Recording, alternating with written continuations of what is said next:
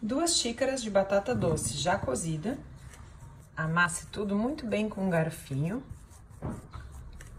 Um ovo. Uma xícara de farinha de aveia e uma colher de chá de sal.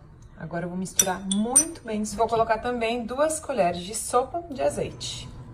A massa tá prontinha, ó, não gruda mais nas mãos. E eu tô pegando uns pedaços e fazendo umas bolinhas deste tamanho, mais ou menos. Então, eu unto a forma com azeite.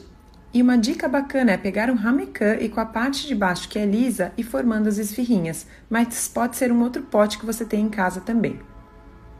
Dou uma leve pressionadinha no meio para colocar o recheio Pré-assei as esfirras por 5 minutos em forno 200 graus e agora eu vou rechear conforme o meu gosto. Vocês podem fazer com o recheio que vocês preferirem, tá?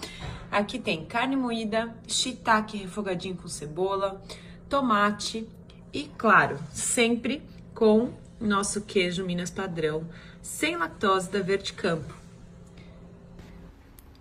Vou colocar a carne moída, o tomate, e o shiitake.